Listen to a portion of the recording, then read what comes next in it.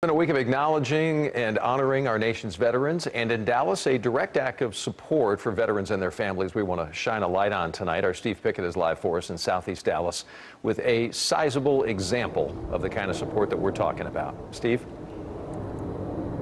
Uh, truly neighbors helping neighbors. These volunteers here today, and we watched them for a couple of hours here, Doug, all of them from Home Depot out here today, putting the work in, putting the, the action behind the words of supporting our veterans, in this case, the widow of a veteran.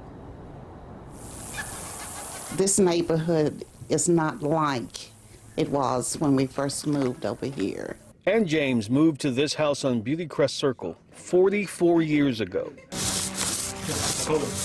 On this day, she's getting a little touch up, a little help from strangers, volunteering to sustain the homes of veterans or the widows of veterans, like Miss James. He came back with no visible scars. All of his scars was internally. The men and women here today did not know Army veteran Sherman James. But they dedicate themselves to repair and remodel homes that house veteran families. Every person here is a Home Depot employee, part of a partnership with Rebuilding Together North Texas. It's just a great opportunity, and it's a great part, uh, part of our company to really allow us to get out into the community and help people who have been dealt a raw deal and really need some support and some help.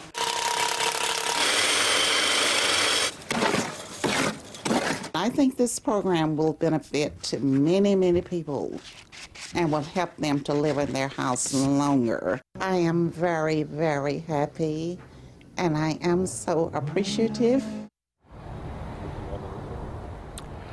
Miss James is 84 years old. She has glaucoma. She wanted to have the house painted so she could sort of brighten it up so she could see better. Well, she can see clearly now based on the work that was done on the inside and wanted a little privacy on the outside with that new fence. Those volunteers from Home Depot, that fence, all done.